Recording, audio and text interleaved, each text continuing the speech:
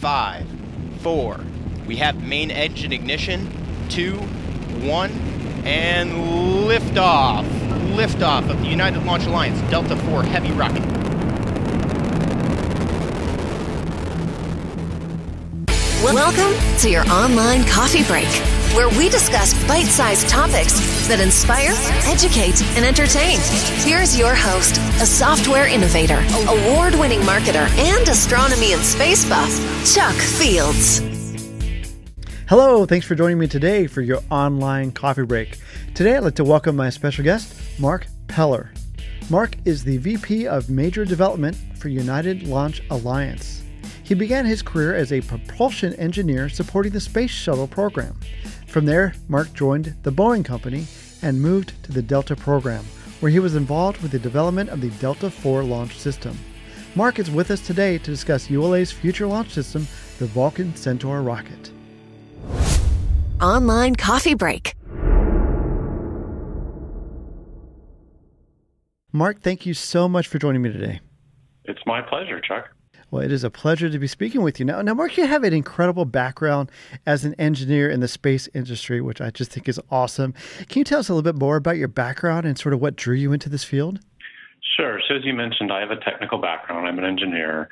I've had the opportunity to work on a lot of different uh, launch vehicles, starting out with the Space Shuttle program, and uh, got involved in propulsion technology. So, that's my background, and worked in supporting the main propulsion system on the uh, space shuttle orbiter. So I had that was you know that's that's a highlight of my career of of many, but one I will always remember and had the opportunity to work on the shuttle for about nine years, and then moved on later and got involved with the uh, Delta rockets mm-hmm.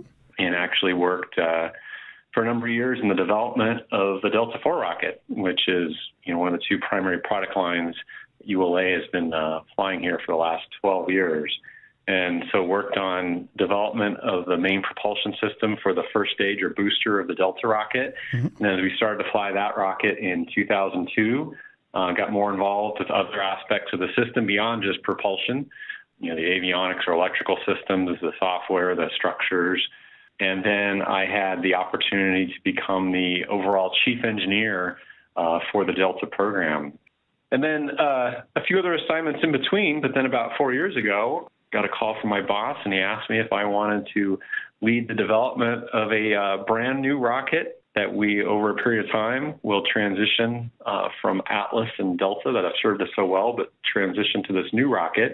At the time, it didn't have a name, and now, as you know, it, it has evolved into the uh, Vulcan Centaur system. So I am the program manager uh, for Vulcan Centaur, and I've been doing that for over four years and uh, continue to work on that as we work toward our first launch of the new rocket in uh, early 2021.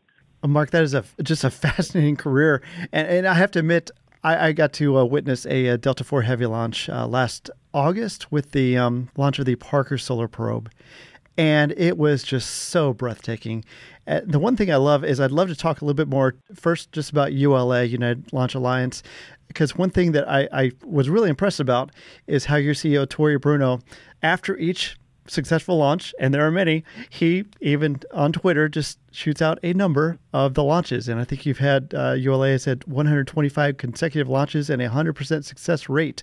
Uh, for those of our listeners who might not be familiar with ULA, can you just give us a general uh, overview of, of what it is? Sure.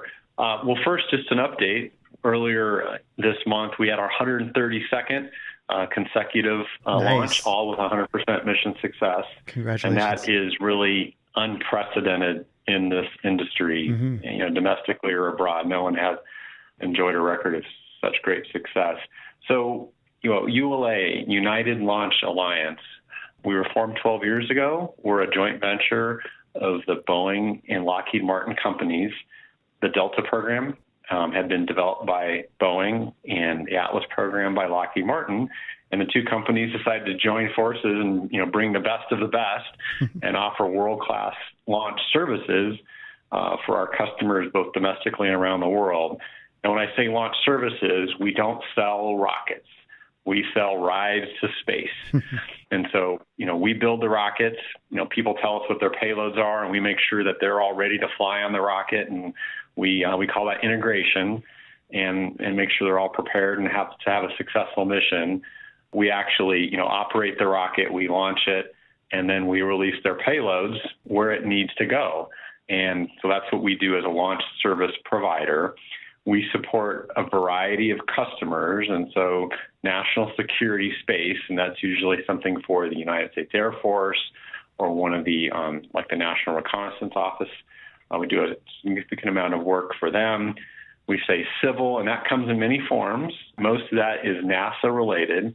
So we launch various spacecraft for NASA for Earth observation to learn more about Earth or to study the weather patterns on Earth and so forth, as well as NASA exploration. So everything that's driving around on Mars has been launched on an Atlas or Delta vehicle and a number of other uh, spacecraft that have gone to Mars and every other planet actually in our solar system to help us under, better understand our solar system that we live in. And so we've launched all that. And an exciting part of our NASA business that has expanded in recent years is involvement in International Space Station, mm-hmm. as NASA has looked to commercial providers to support the call it the logistics of space station. And so we have flown uh, three missions to deliver cargo, and this was done on our Atlas vehicle to the International Space Station to support the astronauts. So this could be some, you know things very simple like food and water and, and basic necessities to mm-hmm. more, you know, other things like spacesuits or experiments or other things they do to support them on the International Space Station. And continuing with that commercial theme that is very exciting for us is that NASA's transition to using commercial providers to launch U.S. astronauts to and from the International Space Station. Right. Uh, something that we haven't been able to do domestically here since the retirement of the space shuttle. We've been re- dependent upon launching crew on Russian launch vehicles. Mm-hmm. And so later this year, we will start launching. Um, our customer actually is the Boeing company on their Starliner spacecraft. We'll launch it on top of an Atlas rocket from our launch facility at Cape Canaveral, and we'll start sending U.S. astronauts back to the space station on a domestic uh, launch vehicle from U.S. soils. Well, Mark, that is so exciting. I was going to say, I'm very excited about your next generation rocket, the Vulcan Centaur, that you talked about. Can you tell us a little bit more about what led to that and what we can expect from it? So, Atlas and Delta are great rockets, and they have served us very well. But you know, these first flew 17 years, almost 17 years ago. Mm-hmm. You know, and technology has continued to move forward. The state of the art has continued to move forward. You know, I don't think you'd be satisfied if you know you were driving a car that was based on a 2002 design. You'd want no. something better. yes. And so you know, the intent here is to bring the best of Atlas and Delta and all of our experience launching these, building and launching these rockets, and that has afforded us this unprecedented record of success. But bring in new technology and develop a rocket that really supports the you know evolving needs of our customers in those markets you know, their those customers' needs are different here than they were 15, 20 years ago when we mm-hmm. embarked on development of those systems. Right. And so what we're going to do with Vulcan Centaur is, you know, everything that those two rockets do in one and to be even more capable, to have greater capability. And so that's a real advantage for us is to be able, you know, over a period of time after we introduce Vulcan Centaur, We'll progressively move our customers, our regular customers that we work with, we'll progressively move them, you know, from Atlas and Delta to Vulcan. And over a period of time, we'll phase out those other rockets and we'll focus our entire enterprise, you know, on building and launching uh, Vulcan Centaur rockets to support our customers. Vulcan's a really high performance rocket. Um, you saw the Delta IV Heavy mm-hmm. um, launch Parker Solar Probe Plus that you mentioned earlier. The Delta IV Heavy is basically kind of as you saw it, it's kind of three rockets joined together. We right. have a basic Delta IV, and to create that heavy capability, we strap three of those boosters or first stages together, and it's mm-hmm. extremely capable. But you know, it's a it's a complex endeavor, and it's very different than say other missions we have to launch on a Delta or Atlas rocket. And so the neat thing about Vulcan is we can launch anywhere from a you know a relatively small spacecraft to something very big, hmm. or on a mission that's very challenging from a performance perspective, like Parker Solar Probe, where we launched something that actually is orbiting the sun, right. we can all do it with the same basic rocket. And that is really significant for us. And it's really the improvements in technology and propulsion and, you know, to have a higher performing rocket and materials, a lighter weight rocket that allows us to put more of the weight, if you will, into the payload. Hmm. And those are some really the keys that are uh, critical uh, to Vulcan and which will really differentiate it in the marketplace.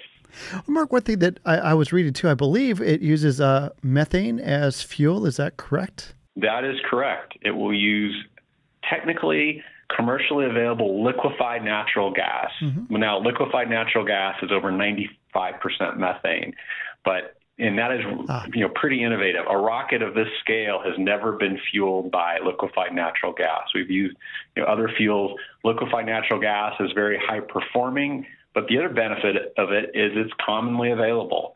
Right. You know, sometimes when we use some more exotic rocket fuels, you know, we're the only user of those and they're hard to get, they're expensive, they're hard to handle, mm-hmm. and we're leveraging all the existing infrastructure that's around the country for use of natural gas, whether it's in a gas or a liquid state to power this rocket. And what we found is it's actually a really good high performing uh, rocket fuel. So it's a real win-win. Some people have tinkered with, you know, fueling rockets with natural gas. Mm-hmm. Um, we're not just tinkering; we're doing this. right. And this will be the largest rocket that's ever flown uh, fueled by natural gas. The first stage of it. That'll be incredible. Now, can you tell me too? I, I believe you have uh, some really unique reusability that's associated with the Vulcan Centaur program. Can you tell us a little bit about that? You know, the whole key here, I mean, we're providing a service. And you know, we have to look at everything we do in terms of the value the customer derives from that. Mm-hmm. And so part of that obviously is performance and lower cost and you know being able to launch when they need us to when they're ready. And so our perspective on reusability is really focused on the economics of it and doing so in a way that doesn't detract from the primary mission. So we don't have to add systems to the rocket or fly the rocket in some different way that detracts from their mission. In other words, they can still bring the biggest their big spacecraft and we can still take it exactly where they want to go. And so how we do that, and I'm going to be a little technical here, sure. but we call it, you know, non-propulsive downrange recovery. and so basically rather than, you know, using the engines to land the rocket. It's going to land without propulsion and it's going to ra- land downrange. In other words, we're not going to go release a spacecraft and then try to use all this fuel to fly back to the launch pad mm-hmm. because that fuel is fuel that could have been used to get, you know, either carry a bigger spacecraft or get that spacecraft further into space. Exactly. So basically, from the customer's perspective, you know, up until we'll release them, it's it's like any other any other ride we've ever given them. You know, we give them high performance, we get them where they want to go. What happens there, and then we get to the engineering part of it is then the first stage of the rocket, rather than flying back, will then re-enter. We will separate just the aft end of the first stage of the rocket, and mm-hmm. that's where the engines are and all the systems, the inner workings of the rocket, the really complex, high-value portion. Right. And that will re-enter it will be slowed down by a parachute and then will be recovered downrange. So the most valuable portion of the rocket will recover and we'll do it in a way that doesn't impact the primary mission of our customer. And as I said, the whole focus is on the economics. So we'll reuse the most valuable portion of that and we'll do it in a way that doesn't impact the performance of the rocket. So part of the booster, the tanks, which are really low cost, those will be expended. But the high value portion we'll bring back. We'll do some refurbishment. We'll mate a new set of tanks to it, and then we'll fly it. That is a planned upgrade of the Vulcan rocket. When we first fly in 2021, it will not have that feature. That is something that we're working on on ramping in the coming years after Vulcan Centaur first flies. And we call that smart reuse. You know, and a smart, it gets back to the, you know, the basics of, I explained, the economics. Do it in a way that reuses the most valuable portions of the rocket so we can offer lower cost launch services and does it in a way that doesn't impact the basic performance or the, the mission in terms of the uh, customer's perspective. See, Mark, I think that is incredible. And, and of course, the play on words, it is smart. I mean, something like 65% of the booster cost is in the engines that you're going to be recovering, I believe. And I think that's just incredible. Now, I, I, believe you mentioned the timeline a little bit. Can you get a little bit more, uh, lastly, about just the timeline for when we can expect to see Vulcan Centaur over the next few years? Sure. So, Vulcan Centaur, our first flight will be in the second quarter, around April of 2021. And uh, we're going to fly a couple times in 2021, and then over the years we'll progressively, you know, ramp up production and launch of Vulcan Centaur. Nice. And as I said, we'll move customers from Atlas and Delta. So you'll still see Atlas and Delta flying for the first, you know, few years of the 2020s until where we're fully transitioned over uh, to Vulcan Centaur and flying, you know, about 10, 12 times a year on Vulcan Centaur. And then, as I said, we have several planned upgrades to Vulcan Centaur as we go forward there, one of those being smart reuse. Well, Mark, this is incredible. Certainly an exciting time in uh, the future coming up for space travel. Uh, Mark, I want to thank you just for sharing information about the Vulcan Centaur program and just thank you so much for just taking time out of your busy schedule to join us today. Really appreciate it. It is my pleasure. There's nothing I enjoy more than talking about rockets, and of course, talking about Vulcan Centaur is uh, is the best. So, thank you for your time. I appreciate it. Oh, my pleasure. Online coffee break. Wow, the future development of rockets and space travel is just amazing. I'd like to thank Mark for joining us today. If you'd like to learn more about ULA or the Vulcan Centaur rocket, just go to their website at ulalaunch.com. If you'd like to comment on today's topic, just go to our website, onlinecoffeebreak.com, or give us a call at 317 862 4700. We'd also love it if you'd follow us on Facebook or Instagram at Online Coffee Break. And of course, be sure to share this episode with your friends or rate us on your favorite podcast application. Thanks again for joining us today. See you next time. God bless.